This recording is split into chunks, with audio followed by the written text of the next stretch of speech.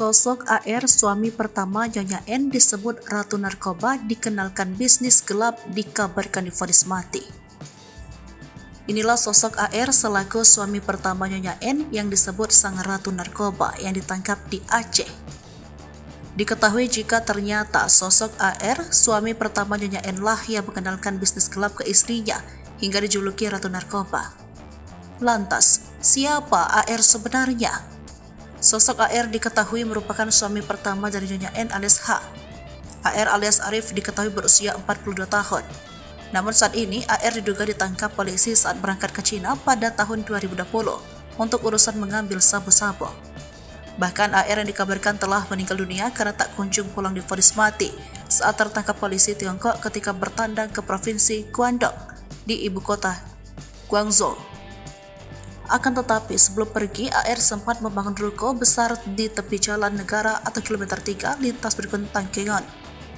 Ruko itu menjadi saksi tentang kepergian Arif yang tidak kembali lagi ke kini.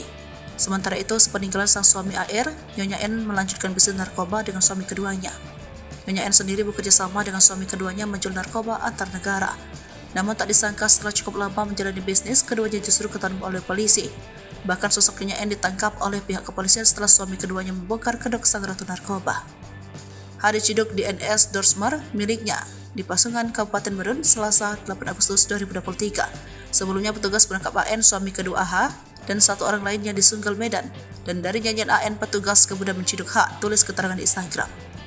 Sementara itu diketahui jika polisi menemukan banyak barang bukti berupa obat-obatan terlarang hingga membuat Nyonya N tak berkutik.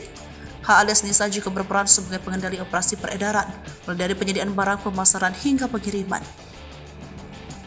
Sementara itu terungkap bahwa Nyonya N alias H selama ini banyak menipu korbannya dengan menunjukkan hidup glamor yang ternyata ia peroleh dari penjual narkoba. Tak hanya itu saja, H juga sering menampilkan potret saat berada di luar negeri sehingga banyak yang mengira bahwa dirinya merupakan keluarga serta istri pejabat.